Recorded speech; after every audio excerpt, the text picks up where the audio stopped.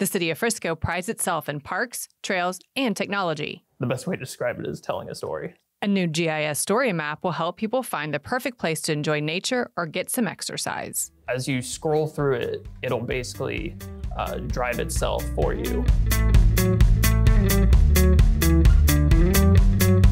A story map, as the name implies, is a map that's meant to tell a story more than you using it as like a uh, finding point A to point B. The GIS division of the city's information technology department got to work on a new map to showcase the city's current hike and bike trails. It was brought to us by Parks and Engineering. They wanted to get more information to the public about where trails are, where walking loops are, so people can more easily find out what's near them. And uh, so we worked with Parks Engineering and uh, collecting not only where trails exist already, but uh, where they're going to eventually be.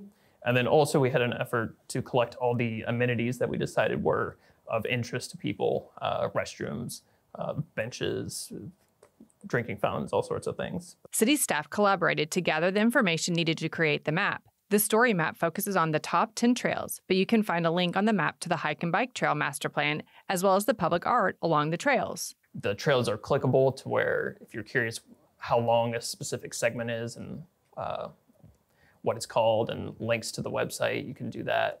And then the public art is specifically uh, selectable to where you can see the information for that along with uh, links to pictures of it as well. But if your focus is the art, there's a map for that. So if you're curious even more about the public art and maybe see it more visually, where you can thumb through each each public art, see it on a map, and uh, a little bit more of a write up about each one.